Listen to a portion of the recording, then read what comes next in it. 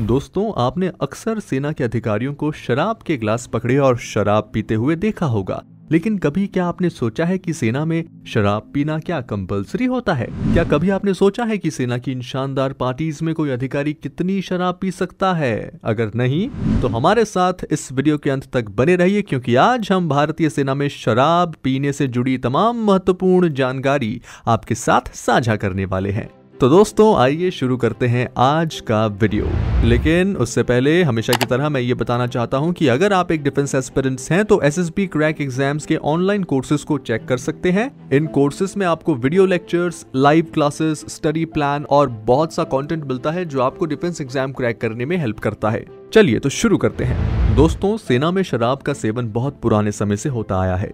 पहले, जब भी हमारे राजा महाराजा लड़ाइयाँ लड़ने जाते थे तो अपने सैनिकों को नशे के लिए तमाम चीज़ें उपलब्ध कराते थे। ताकि वे लड़ाई में जाने से ना घबराए और घायल होने की अवस्था में उन्हें दर्द भी कम महसूस हो। अंग्रेज़ी फौज में भी सैनिकों को कंट्रोल करने और उन्हें सुदूर क्षेत्र जैसे अफ्रीका और बर्मा में लड़ाई लड़ने को मोटिवेट करने के लिए विदेशों से आयातित शराब उपलब्ध करवाई जाती थी। लेकिन आर्म्ड फोर्सेस के डिसिप्लिन के अकॉर्डिंग ये ज़रूरी है कि शराब का सेवन कंट्रोल्ड हो ताकि कोई अप्रिय घटना ना हो। खास तौर पर तब जब इन सैनिकों की पहुँच ज़िंदा गोला बारूद तक हो और निश्चित रूप से कोई नहीं चाहता कि एक नशे में धुत सैनिक ज़िंदा गोला बारूद के साथ हथियार संभाले।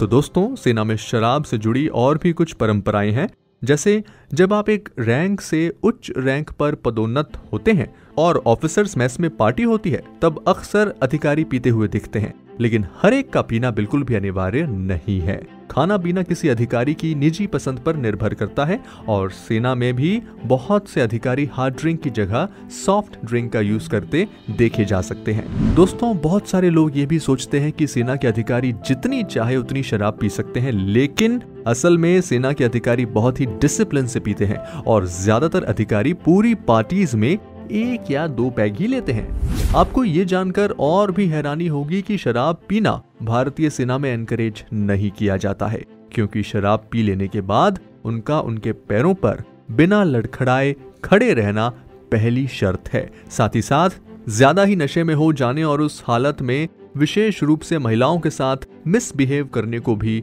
बहुत गलत माना जाता है, जिस पर कठोर से कठोर कार्रवाई भी हो सकती है। यस. तो दोस्तों, पहले आर्मी में अधिकारियों के साथ साथ सैनिकों को भी फ्री में शराब दी जाती थी, पर अब ये सुविधा बहुत साल से बंद की जा चुकी है अब ये सैनिक और अधिकारी चाहे तो सीएसडी से शराब खरीद सकते हैं, लेकिन ये जवान और अधिकारी हर महीने तक तय सीमा में ही शराब की खरीदारी कर सकते हैं हालाँकि दोस्तों, शराब के सेवन से जुड़े कुछ एक्सेप्शन भी हैं, जैसे हाई ऑल्टीट्यूड और कॉम्बैट कंडीशंस जैसे स्थानों पर ड्यूटी पर तैनात सैनिकों को केवल उतनी ही शराब का सेवन करने के लिए दिया जाता है जितने से वे खुद को गर्म रख सके।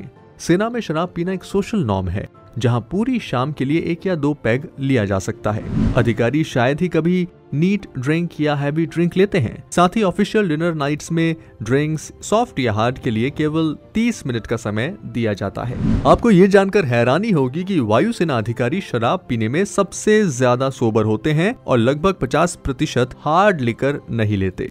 तो दोस्तों, ये थी भारतीय सेना में शराब पीने से जुड़ी तमाम महत्वपूर्ण जानकारी। हमें उम्मीद है कि इनके बारे में जानकर आपको मज़ा आया होगा और भारतीय सेना में होने वाली शानदार पार्टीज़ में एक दो पैक पीने का भी मन हो रहा होगा। फ़िलहाल इस वीडियो को लाइक करना ना भूलें और दूसरे लोगों को भी शेयर करें ताकि उन्हें भी ऐसी जानकारी मिल सके। हम मिलते हैं आपसे एक और वीडियो के साथ। तब तक जय हिंद।